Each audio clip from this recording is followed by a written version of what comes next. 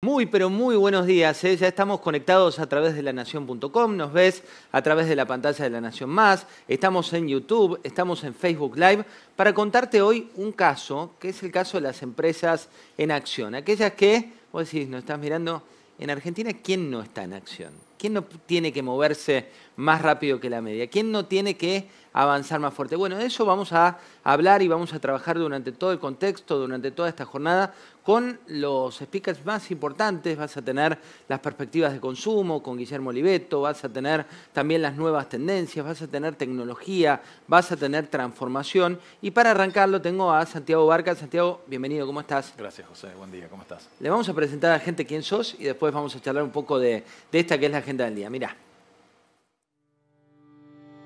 Santiago Barca, director de B2B Movistar Argentina. Inició su carrera en Telefónica en el año 2003 dentro del equipo legal como abogado, tras desempeñarse en diferentes posiciones. En 2022 se consolidó en su cargo actual. Santiago es abogado egresado de la Universidad de Buenos Aires y posee una maestría en Derecho Empresarial de la Universidad Austral. Vos sabés que, eh, Santiago, la entrevista inicial es como la que le da el marco, ¿no? Al encuentro, la que te dice, bueno, esto que vamos a tocar muy por encima va a ser lo que vamos después a profundizar. Y la primera pregunta tiene que ver con digitalización, que es una de las transformaciones más fuertes de las empresas. ¿Cómo están ustedes hoy? Mira, eh, hablando un poco de empresas en acción, como empezaste eh, el evento, la verdad es que lo que notamos sobre todo en la pospandemia es mucha acción por parte de las empresas con foco en la digitalización, en la transformación digital. Ya hace muchos años venimos hablando de la transformación digital, la pandemia nos dio o les dio a las empresas una acelerada fuerte en, pensar, en, tratar de, reconducir parte de sus negocios, de, reformular procesos que tenían eh, por ahí más analógicos y también trajo una transformación en, los clientes, digamos, en, hábitos de consumo, en formas de moverse, en, necesidades. Entonces, eh, lo, más importante en, la digitalización, que como decía, ya es un término que venimos usando hace mucho, es que ahora eh, hay mucha necesidad de las empresas en, revisar esas cosas y en poner foco en eso. y para eso nosotros venimos trabajando fuerte. Eh, a través de nuestra propuesta de valor para tratar de convertirnos en los partners de, las empresas en, su camino a la digitalización. La digitalización es un camino, tiene mucho, eh, mucho recorrido y muchos, eh, muchos puntos que atacar. Y, tener los partners adecuados para las empresas siempre es muy importante. Hay un punto importante y un estudio de, de CEPAL marca que hay oportunidades en el mercado de la digitalización por más de 21 mil millones de dólares solamente en América Latina. Pero eso implica también mirarse hacia adentro y decir, bueno, este es mi equipo, un equipo que dentro de una compañía como la de ustedes eh, se viene transformando hace mucho tiempo. ¿Qué hay que hacer con el equipo para subir a la ola? Mira, eh, uno de los miedos que, trae la modernidad y la digitalización es, eh, bueno, ¿y qué pasa con la gente que, digamos, que antes hacía una determinada tarea y esa tarea se, se digitaliza? Nosotros venimos poniendo mucho foco en esto y venimos trabajando muy fuerte puertas adentro de nuestra compañía eh, para tratar de acompañar ese proceso. Eh, este año alrededor de 700 personas, personas cambiaron de función a funciones, eh, digamos, distintas que en algún punto cambiaron o cambiaron su forma de hacer o cambiaron su, digamos, su, su trabajo. Y entonces para nosotros lo importante fue poder acompañar ese proceso y, nosotros, tenemos para eso eh, distintas escuelas de capacitación eh, que tienen que ver con nuevas tecnologías. Tenemos una escuela de ingeniería, tenemos una, escuela que tiene que ver con datos, eh, tenemos una escuela que tiene que ver con la experiencia digital, que son cosas de las que venimos hablando cada vez más en las compañías. Y esa es nuestra digamos, nuestra contribución a tratar de que nuestra, de que nuestra gente, nuestros equipos hagan con nosotros el camino de la, de la digitalización. Bueno, hay un punto también que cuando uno ve tu, tu carrera, lo veíamos recién en el currículum, eh, abogado, estudiaste en su momento en la UBA, después fuiste a la Universidad Austral y hoy estás en un área que no tiene que ver con el área con la cual comenzaste, ¿no? También se puede ver en tu caso. Sí, eh, la potencia que tiene poder reinventarse constantemente desde lo personal también es, muy importante y, siempre que, podemos y, cuando charlamos con los equipos y demás, apostamos a eso, a que la gente pueda eh, reinventarse acompañando los cambios que va teniendo la empresa. Hay algo que me gusta cada vez que hablamos con una compañía que es tratar de dar la radiografía de qué significa esta compañía, por un lado en el mundo, en la región y en Argentina. Digo, cuando hablamos de tu empresa, ¿qué soy?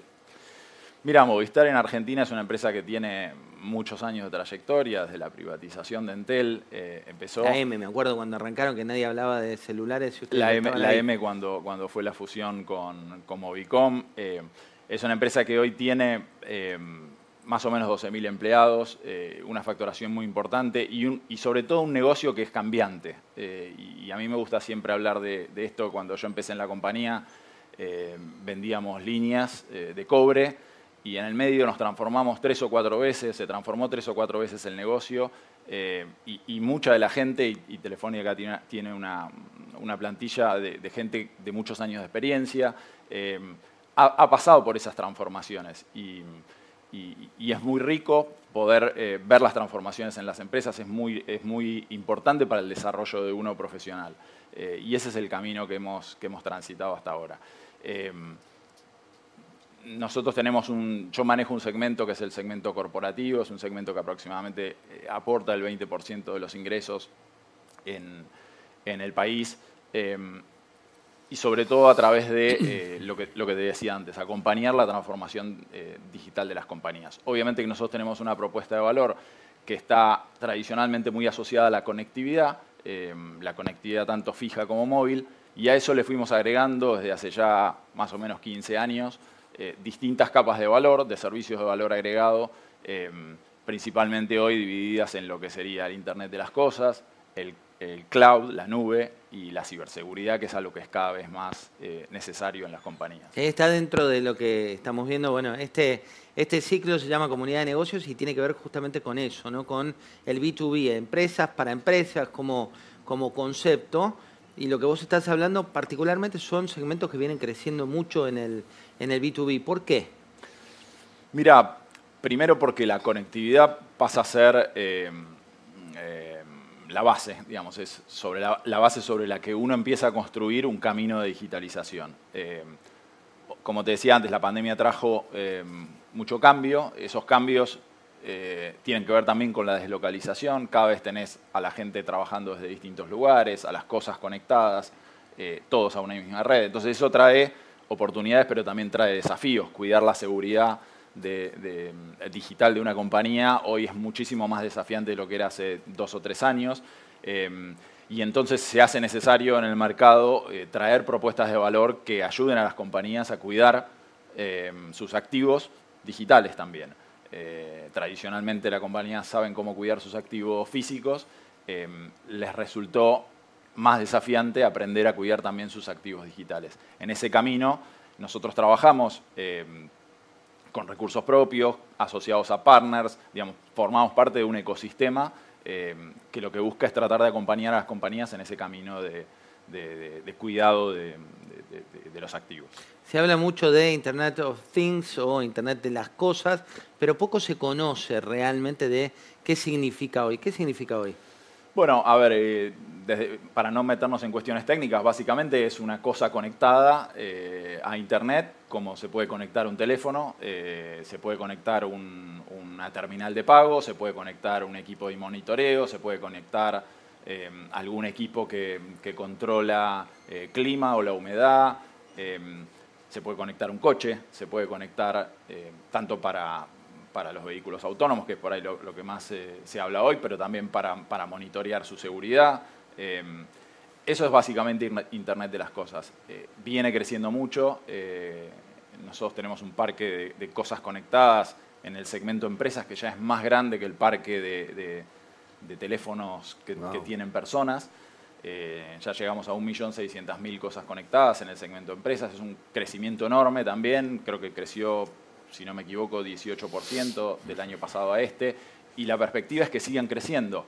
Eh, ahí, eh, digamos, las situaciones macroeconómicas o los vaivenes macroeconómicos a veces conspiran un poquito contra, la, contra los proyectos de inversión, pero, pero igual, igual sigue creciendo y, eso es una apuesta grande que, estamos haciendo nosotros junto a, junto a nuestros clientes para poder eh, moverlo adecuadamente. La verdad es que te brinda un montón de posibilidades de, redefinición de procesos, de logística, de seguridad también, de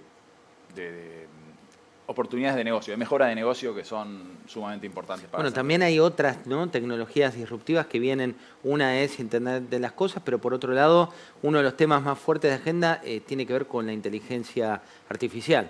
Sí, bueno, es el tema de, moda. Que es el tema del año. Es el tema del año. La inteligencia artificial generativa, eh, esa capacidad que ahora tiene la inteligencia artificial de, digamos, de construir cosas casi autónomamente a partir de algunos prompts y demás. Eh, la verdad es que, eh, si bien se habla mucho, todavía las, las, aplicaciones concretas tienden a ser pocas. Ves, ves, cosas en cuestiones de productividad, donde podés